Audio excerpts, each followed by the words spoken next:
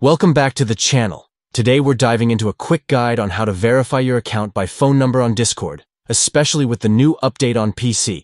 This step is crucial for enhancing your account security and ensuring a seamless experience. Let's get started. First, open the Discord app on your PC. Once the app is launched, look for the gear icon located at the bottom left corner of your screen.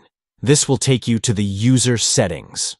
Once you're in User Settings, click on My Account from the menu on the left. Here, you'll find various options related to your account settings. Next, locate the Add Phone Number option. Click on it, and a prompt will appear for you to enter your phone number. Make sure you enter an active number that you can access because you'll need it for verification. After entering your number, click on the button that allows Discord to send you a verification code via SMS. Now, after receiving the code on your phone, return to Discord. Before moving forward, confirm that you are not a robot by completing the CAPTCHA prompt. This extra layer of security helps keep your account safe.